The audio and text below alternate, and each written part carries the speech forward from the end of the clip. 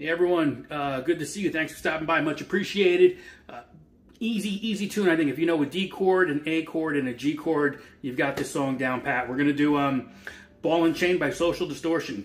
Keep in mind uh, this tune. If you're gonna play along to that album, that record, whatever you want to call it these days, we're tuned down a half step to E flat. So um, you don't have to tune down, but I'm just saying if, if you want to play to the album, you have to be tuned down a half step. But we're going to do, and again, I'm going to show you, um, even though we're tuned down a half step, I'm just going to call these out as we typically would see them as a D, an A, and a G, right? But typically, um, these would, the pitch would be different, but just for lack of, or for, for sake of uh, keeping it simple, D, A, G. That's it.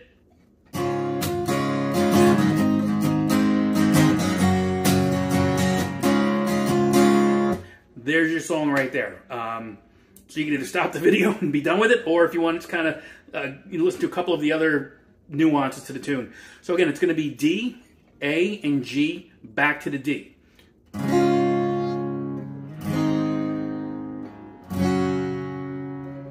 Now, if you want to just play a regular G, that's cool. I, I think this is one of those Gs that's got the open B string in.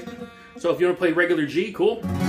If not, I'm kind of playing this. This is kind of like a Springsteen G, um, where you've got you're going to have the first fret, uh, excuse me, first string, third fret, sixth string, third fret, and you can either mute this B string or you can play that second fret there. Um, either way is cool, but if you go a little bit different, hear that? As opposed to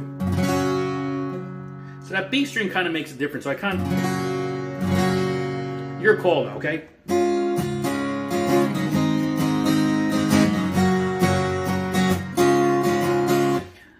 Strumming pattern than I do.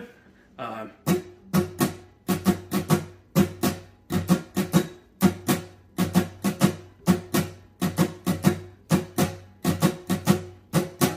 there you go.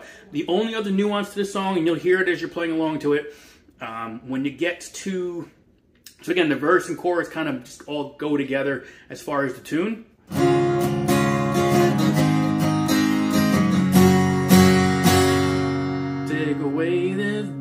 So just landing on that G. Let it ring out. And chain.